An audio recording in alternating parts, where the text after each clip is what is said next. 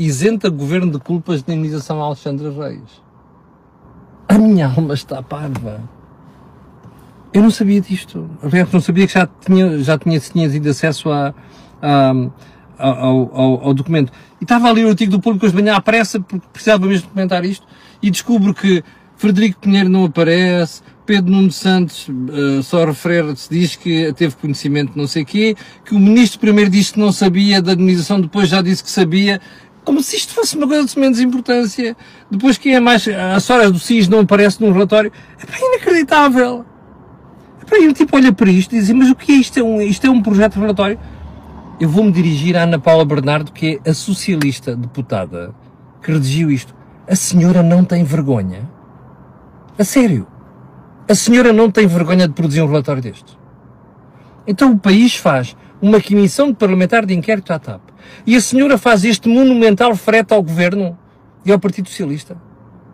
Bem, é preciso ter um bocado de vergonha na cara. Eu, se estivesse no lugar desta senhora, arranjava um buraco e enfiava-me lá embaixo. Então a gravidade das histórias da TAP não merece a análise disto. Mas, e depois, espera aí. Então, o governo está isento na, na, na, na? Aí foi da, iniciativa da, da CEO. Who the cares? A senhora tem alguém acima. Nós ouvimos, doutora Ana Paula Bernardo, ou não ouvimos, na Comissão Parlamentar de Inquérito, ouvir dizer que foi o ministro que aprovou isto. Está lá, com o WhatsApp, certo? Ah, sim, comunicavam para o WhatsApp, mas não quer dizer que não houvesse formalismo. Não é isso que está em causa.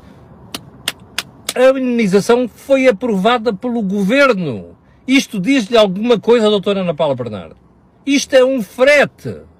A senhora sai mal desta história. É uma vergonha o que está aqui a passar.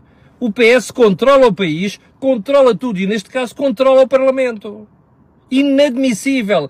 Eu espero que o país hoje se levante, deputados, oposição, o senhor Presidente da República, que é para comentar esta pouca vergonha deste projeto relatório. Ah, é um projeto? Pois é! Mas se a malta não abrir a boca, vai passar por cima disto. Não é aceitável. Isto é um país controlado pelo Partido Socialista. É l'État, c'est moi. António Costa. Bom,